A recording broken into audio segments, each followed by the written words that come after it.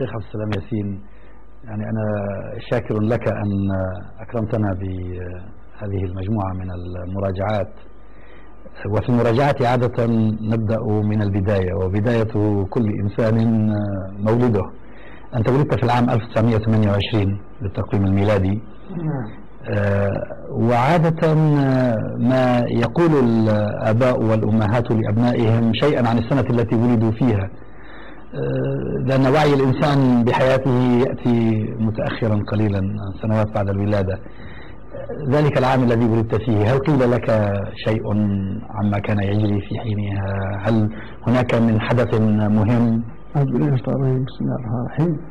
وصلى الله وسلم وبارك على سيدنا محمد وعلى آله وصحبه وإخوانه وحزبه لو كان لو كانت هذه احداث سبقت ميلاد هذا العبد المسكين وأتبداه لكن نشأتي في أسرة أمية.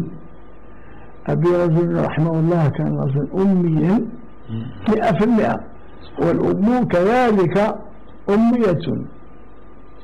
فالأميون يومئذ والآن ودائما قليلا ما يكون على اطلاع بما يجري في العالم بل بما يجري حولهم. لا سيما إن كانوا يعيشون كما الحال يومئذ منذ في 280 سنة الإبري إذا كانوا يعيشون تحت حكم ضاغط تحت حكم جبار تحت حكم جبري يخنق الأنفاس ويترك للناس متنفسا ولا ولا يترك لهم مهلة لكي يتأملوا في حالهم وحال العالم من حولهم فإذا لم يخبرني الوالد رحمه الله وأخبرتني أمي عن شيء حدث تلك سنة إذا أنه جاءهم وليد فرحوا به. فرح. الحمد لله. لا سيما أن الوالد رحمه الله آه كان يومئذ عند ميلادي كان في الخمسين من عمره. نعم, نعم.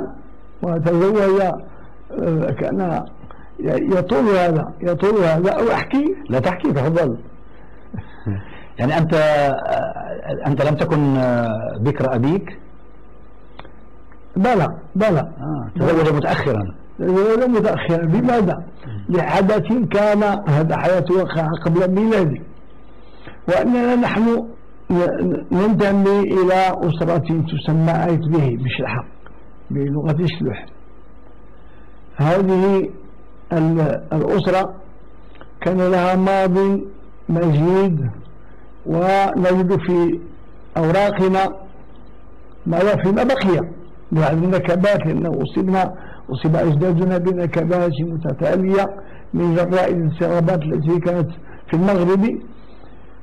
آه، أصيب أصيبنا بما بقي لنا من, من أوراق. تخبرنا بأن الأيت به هؤلاء كان لهم رجل فذ معنى فذ في السلسلة وإلا فإن له الأفداد في تاريخ المسلمين يسمى عبد الله عبد الله وبه بشرحة بشرحته هذا عبد الله وبه كان كانت له سطوة وكان ينتمي إلى الدولة العلوية. كان أحد قواد الدولة العلوية. وكان له صيت وكانت له مكانة. وكانت له فراسة وكان رجل صالحا على ما حكوا لنا. والله أعلم. هذا الرجل بقي في الحكم سنوات طويلة وامتد حكمه في جنوب المغرب حتى شمل ثنتي عشرة قبيلة. فخاف الحكام أن يقوم بخومته وبثورته. بثورة فنصبوا له. وانتهى الأمر إلى أن بقي هذا هذا الإكراه وهذا هذا الظلم وهذا العتو على هذه الأسرة أسرة إثبي ممتدة حتى زمان والدي رحمه الله. في زمان والدي كان القائد المسمي كبيرة القبيلة الحاكم في القبيلة قائد قائد قائد. كأن القائد ينوي أن يقتله. لماذا؟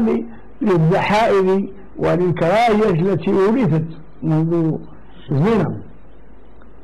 وكان له صديق قريب من الحاكم فأوعز إليه أن يفر أن يخرج من البلد.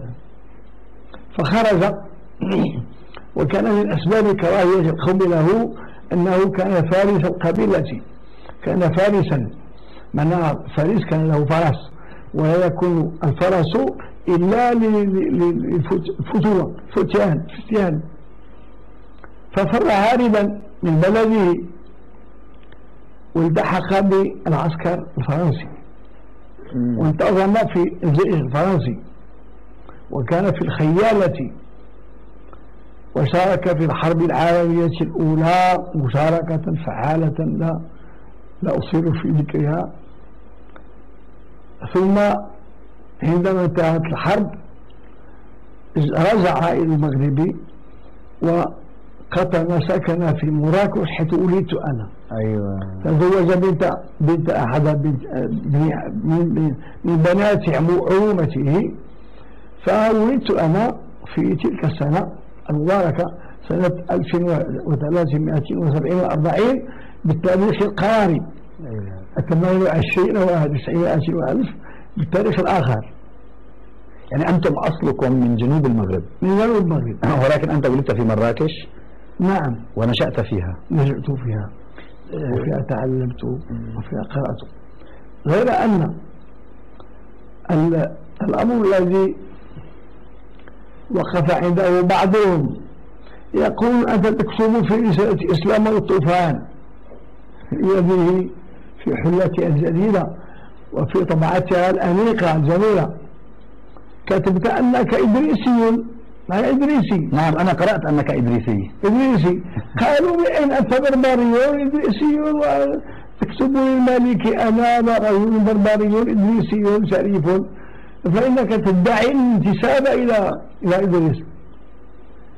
هذا جد على إدريس الأكبر.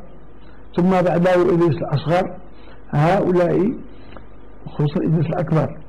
فروا من وقعة تسمى وقعة فخ. وقعة فخ كانت نكبة لآل البيت. وفخ هذه قرية قرى مكة مكة مكرمة ففروا بعد وقعة فخ. كان منهم إدريس وكان أخوه يحيى وكان أخوه إبراهيم. فكانوا يساهمون الدولة العباسية العباسيين في الزعامة. إذا كانت كانت الحكومة القائمة أكثرهم ففر إدريس إلى المغرب وذهب يحيى وذهب إبراهيم إلى المشرق وكانت لكل منهما سلالة و و و وذرية. فإذا إدريس جاء إلى المغرب. المغرب يومئذ كانت في قبيلة تسمى أورابا هذه بربر. بربرية. شو صلح صلح كلمة بربر هذه؟ يقف عندها بعضهم يقول بربر هذه تشبه بربروس بربر في اللغة الأجنبية آه. يعني متوحش. إيش الأفضل؟ صلح شلحون أو ماليغيون أو لأن بعض الناس يقول البرابر هم متوحشون. لا البرابر لهم ماض ولهم حاضر ولهم آداب وله وله وله إلى آخره. فتزوج من امرأة أمريكية؟ نعم من بناء من أبناء عمومته فجئت على قدر والوالد في سنين متقدمة والأم في مراكش وهي وهي بربابية فولدت في هذه في هذه الأسرة آه، ظروف النشأة ذكرت لي أن والديك رحمهما الله كانا أميين آه، إذا من من من الذي أثر عليك من الناحية العلمية الثقافية؟ كيف حصلت المؤثرات؟